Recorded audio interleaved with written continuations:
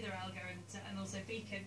Uh, Husey said earlier on that he's not here today because he thought Beacon would find it difficult to beat Beatheralga. Would you concur with that?